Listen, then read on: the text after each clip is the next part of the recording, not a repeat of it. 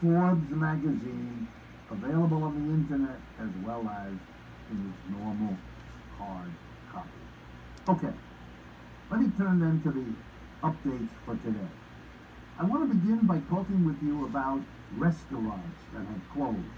They have been one of the great victims of all of that has happened uh, from the pandemic and from the economic crash.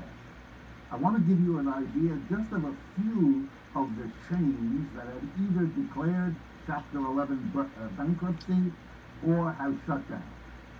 Chuck E. Cheese, Le Pain Quotidien, Vapiano, Bravo and Brio, the NPC Corporation, which is one of the largest franchiser of thousands of Pizza Hut and Wendy's restaurants across the United States.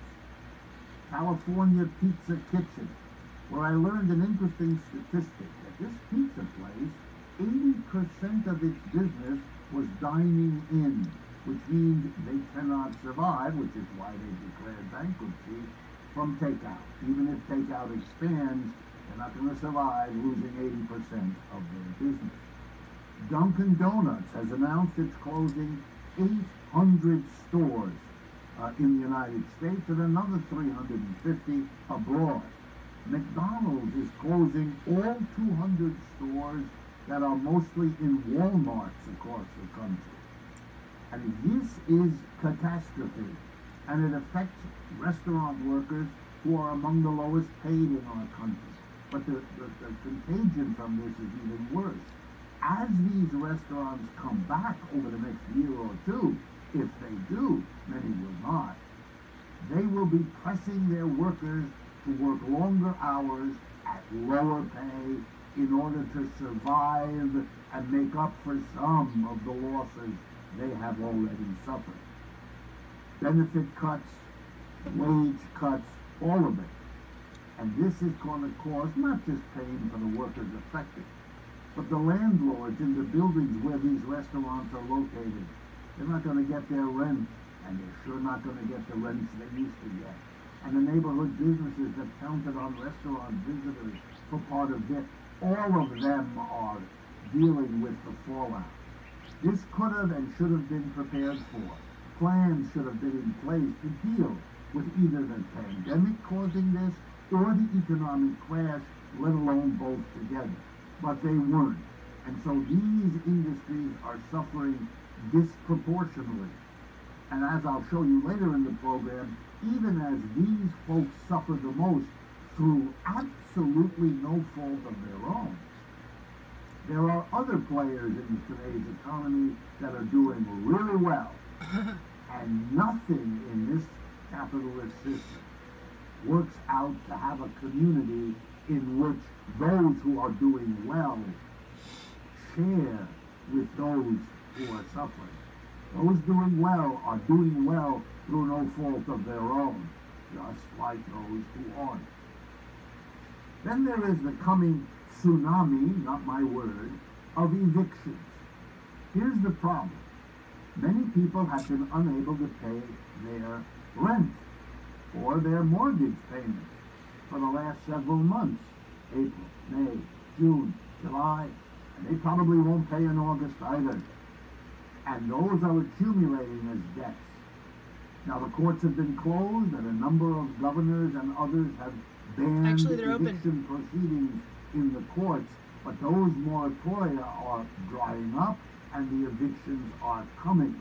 Is there a plan in effect Nope. in the nation that deals with this problem? No plan. No. Is there a program to help people through it? No. Only billionaires. That is a catastrophe about America, even before the pandemic and the crash hit. And to underscore it, I'm going to compare us with France. Not because Europe is wonderful and the United States isn't, and not because Europe doesn't have many Well, problems. it is actually. It is wonderful compared But to this here is an shithole of a country. Of where we Trump has turned us into. and where Americans need to understand where they are relative to others. For decades in France, the following law has been on the books. No such law exists in the United States. Let's get one like go. it. Ready? You cannot evict the person. Ready? ever between November 1st and the end of March. And the reason in the law is clear. It's because it's cold outside. and so it has been illegal for anyone to be evicted during the cold months of the year in France. End of story. wow. Who fought for visionary. that war in France? The socialists did, and they got it, and nobody has dared touch it since. Then Vive la France. ac- action of the socialist mayor of Paris, the capital of France. Her name is Anne Hidalgo, and she's quite famous. She announced there would be no evictions this year until October 31st. How cute! That's the day before the normal law kicks in on November 1st. In effect, the French will allow no evictions to even start until the end of March 2021. Now that's a way to deal with the problem of eviction. That's smart. Nothing remotely like that exists in the United States. Then I did another comparison. France last year, 2019, had 16,000 evictions that actually happened. The United States, over the same period last year, ready, had 1.5 million evictions. Wow. I did the arithmetic.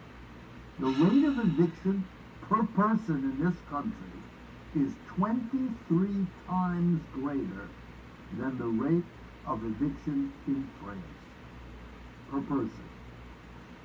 Think about it. I do want to take my hat off to the governor of Oregon, who has acted to prevent any evictions also until March of 2021. And there may be others. But of course, it's haphazard. It depends on the politics of From the state to governor state. legislature in each state. It should be a national Be a corrupt Republican. And that's a scandal. Yep.